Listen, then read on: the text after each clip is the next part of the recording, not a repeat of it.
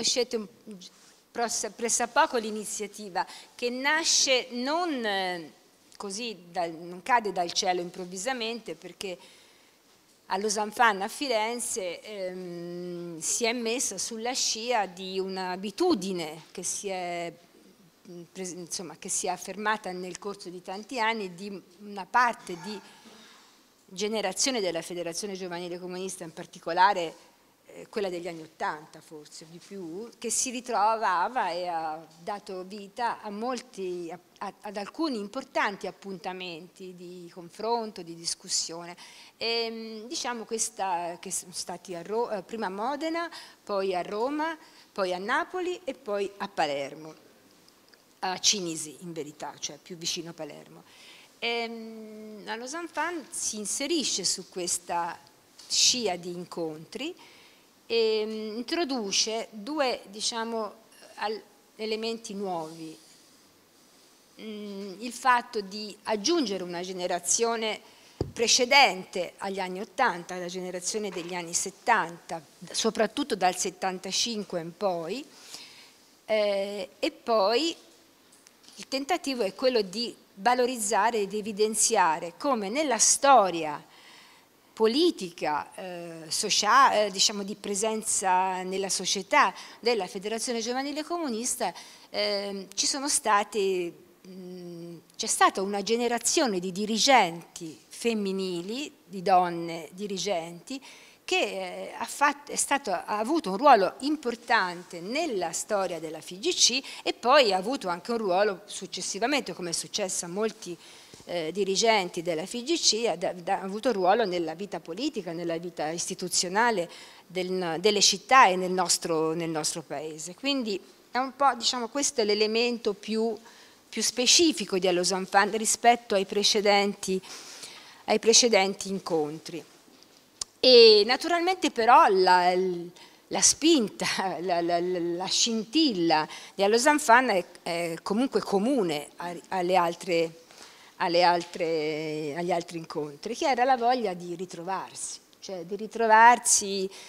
secondo me già questo è il primo, eh, primo mm, eh, valore politico, cioè ritrovarsi, riconoscersi, eh, nel, mm, tenendo conto che già in FIGC, nelle varie, già le FIGC sono state diverse, all'interno delle FIGC eravamo tu, diciamo, c'era un dibattito aperto, non eravamo mica tutti uguali, quindi, già quindi, avevamo a che fare con una diversità delle posizioni in un confronto politico, eh, e, però diciamo tutti insieme abbiamo fatto parte, pur nelle specifiche esperienze delle singole FIGC che hanno risentito poi dei vari contesti, tutti insieme abbiamo fatto parte di quella che si può dire, siamo stati partecipi di una bellissima esperienza politica, perché le reazioni a questo tipo di incontro possono essere due, possono essere tante, ma insomma ora in questa società dove ci si polarizza poi si cerca di sintetizzare. Da una parte quella è di idealizzare no? quei momenti, anche perché partiamo da una situazione odierna della politica che non è che diciamo che sia, sentiamo molto adeguata. Quindi da una parte di idealizzarlo, non fosse altro perché eravamo tutti molto più giovani e, e già questo è... Dall'altra invece può esserci anche una sorta di rigetto, di, dire, di, di presa di distanze, anche perché questa, queste nostre generazioni, questi nostri giovani, che poi come tutti noi siamo, non sono più giovani, eh, hanno seguito percorsi, pur nascendo da una scintilla comune, hanno seguito percorsi politici molto, molto diversi. Quindi c'è un tratto comune, ma sul tratto comune c'è anche, ci sono diversità. Ecco, e, quindi, e noi cerchiamo di respingere queste questi opposti dogmatismi, no? quello di idealizzare e quello di abiurare ma di cercare di, di avvicinarsi a questa esperienza anche riprendendo nel tratto diciamo, di umano, no? di esperienza umana, eh, relazionale, dove sono nate tante relazioni mh, anche umane, nati, ci siamo divertiti, come ha scritto Gloria, ecco, come ha scritto Gloria alla fine della sua intervista, ci ha ricordato a tutti che in fondo ci siamo anche molto divertiti, sono nati tanti amori, sono nate amicizie, io e Gloria siamo amiche da, da, da, da, quel momento lì ed è stata un'amicizia che con la politica, insomma, quindi ci sono state cose che hanno un grande significato, però eh, quindi recuperare questa dimensione sapendo che davanti eh, a noi, anche il 10, ci saranno persone e compagni che hanno bisogni diversi, ciascuno la vivrà a modo suo e depositerà questa esperienza che faremo nei modi che crederà, nei luoghi che crederà più opportuni, eh, perché appunto il tema della, di, delle differenze è un tema importante. Però qual è l'elemento che noi vogliamo valorizzare? Che essere come dire, dif differente, avere posizione non, ci, non, non è solo una frammentazione distruttiva, è anche un modo ricco di vivere un'esperienza politica, che non può essere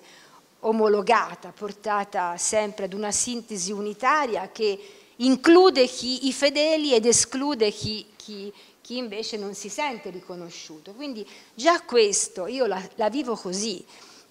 vivo questo momento come un momento di ritrovamento, di, di ci ritroviamo, eh, attraverso tante emozioni, attraverso questa esperienza comune che è stata bella, ma che vede anche percorsi, percorsi differenti. E naturalmente, siccome discuteremo probabilmente di questi punti di vista differenti, mh, terremo conto, verranno, verranno, verranno. Poi c'è un altro tema che secondo me bisognerebbe riuscire, se ce la facciamo, a eh, mettere a terra, come potrebbe dire, cioè, che quella, questa esperienza delle FIGC non, è, non, non, sono ancora studiate adeguatamente e se eh, noi sollecitiamo ehm, questo proposito no, di ricostruzione anche storica di queste, di queste esperienze, secondo me è un fatto positivo. Naturalmente giocando su questo dialetto, questo, ehm, questo rapporto tra memoria e storia, che sono due cose. La memoria noi la possiamo agire ancora, e però poi c'è anche il momento della ricerca storica che, non, che, non, che si alimenta della memoria ma che non si schiaccia sulla memoria, non si limita alla memoria. Quindi se riuscissimo da questi momenti a sollecitare una ricostruzione, uno studio di quegli anni, eh, di anni di un'esperienza che ancora non è stata studiata, che ha una memoria, che ha ancora dire, una, un panorama un po' frammentato. Eh, già per esempio la, minima, la piccola cosa che stiamo, piccola grande cosa che stiamo facendo con il sito, no? di raccogliere, di accogliere lì tutto il materiale che possiamo ritrovare, oltre che raccogliere anche testimonianze, il dibattito che si sta svolgendo importante attraverso l'unità che vi prego di seguire perché mi sembra un contributo serio anche alla discussione che, che faremo e che non finirà poi il 10. Il 10, ecco, credo che anche questo sia importante, quindi ritrovarsi, sollecitare una memoria collettiva e come spronare una ricerca storica ecco, di quel periodo. Poi, secondo me, poi cercare di, nei modi, sempre nei modi che più propria ciascuno di noi, rispondere a quell'appello che faceva Pietro nell'intervista all'unità, che insomma, diamoci una sveglia, ecco.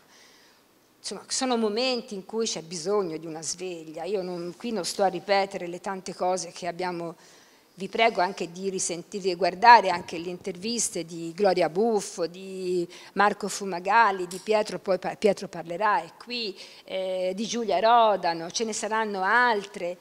Eh, quindi i temi sono squadernati, li viviamo tutti i giorni,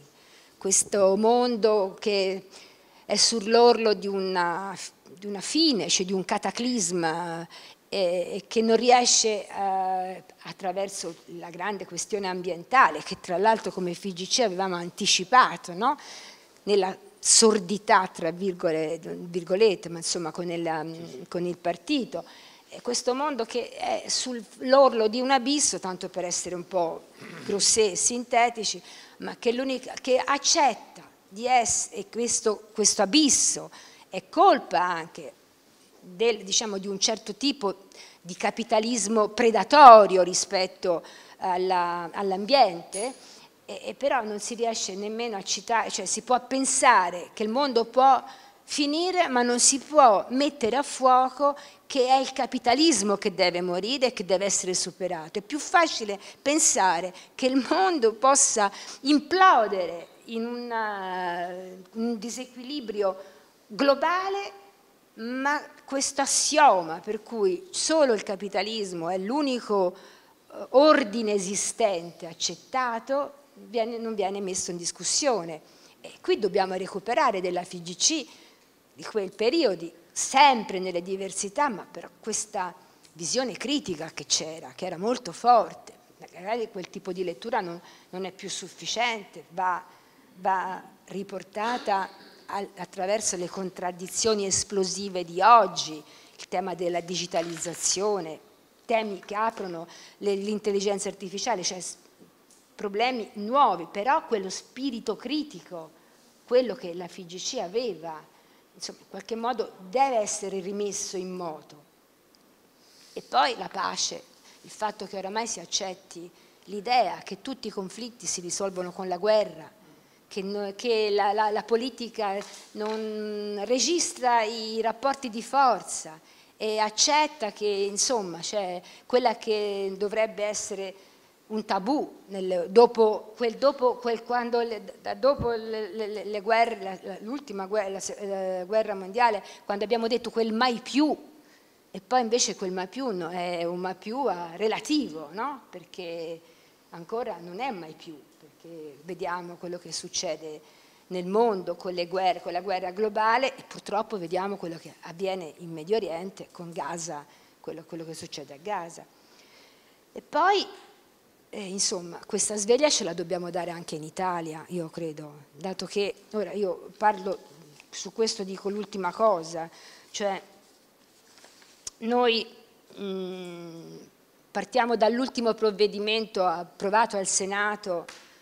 ora sull'autonomia differenziata, ma è possibile che non ci sia una sveglia, tota, diciamo, una sveglia collettiva, democratica, di sinistra, perché poi, ma anche democratica, eh, di tutte, di tutte le, le, le, diciamo, le culture positive che hanno contribuito alla nascita della Repubblica e, non vederne i pericoli. Il PD sta parlando solo di candidature, di congressi che devono essere... Ho letto di recente che i giovani hanno fatto una grande manifestazione per il congresso, cioè non c'è stata un'iniziativa sulla pace, non ho visto... Io può darsi che sia assolutamente ignorante. Io sono una che è arrivata al PD, eh, quindi io non sono entrata nel PD, ma io sostengo Elish Lyland, quindi togliamoci dalla... apro questa parentesi e la chiudo, quindi non ne faccio una questione mia, ma è possibile che il maggiore partito della sinistra dell'opposizione discuta di questo, di fronte a tutto quello che, che succede. Quindi per questo recupero nella nostra diversità l'idea di una sveglia, tra l'altro anche qui in Toscana, non a Firenze anche, dato che è più vicino, ma in Toscana, dove c'è un patrimonio che, che, è diventato dannazzi a memoria, cioè non, Ecco, allora io credo che questa sveglia noi la dobbiamo dare anche recuperando con eh, intelligenza, senza reducismo, eh, un'esperienza, ma cercando di vedere quei semi di iniziativa politica, di lotta politica, che sono fondamentali. Lotta politica che noi abbiamo imparato ad essere unitaria e questo deve essere importante. Si cita il, il gli intillimani. Gli intillimani con il pueblo unido, Hamas sarà vencido, ci ricorda quell'emozione, ma guardate che questa piccola diciamo, affermazione, questo, questo concetto vale oggi. Se il campo di progressista non trova nella sua diversità una capacità di mediazione, di mediazione, di confronto, di, di, di, e quindi di ele intanto elevare la discussione, poi di mediazione, io credo non, non ci sia la possibilità di sconfiggere queste destre e ritorno a bomba sul fatto di quanto sia pericoloso questo disegno di legge che porta avanti l'idea secessionista della Lega e che è come, che è in un connubio con il presidenzialismo monarchico della, eh, della famosa riforma madre eh, del premierato assoluto della, della Meloni. Non sono cose distinte, che una contraddice l'altra, ma sono cose che si tengono. È una doppietta pericolosa che mette in discussione le basi antifasciste della nostra Repubblica. E io non capisco perché di fronte a questo evidente, insidiosissimo, perché eh, che sia insidioso lo dobbiamo vedere, vista i dati di disaffezione alla politica che stanno emergendo attraverso semplicemente la mancanza del voto, cioè di non andare a votare, che segna. Eh, io non capisco come non si riesca a dare, ad avere questa questo senso del pericolo e quindi di elevare la, lo la, lotta, la battaglia politica a questo livello. Quindi anche questo dovrebbe servire con lo spirito unitario, senza cercare di eh, fare delle sintesi impossibili, però di trovare come dire, quella, quella, spinta che noi abbiamo detto, quella spinta che voleva cambiare il mondo, intanto quella spinta per oggi ritrovare un ambito comune per sconfiggere culturalmente e politicamente le destre che ci governano.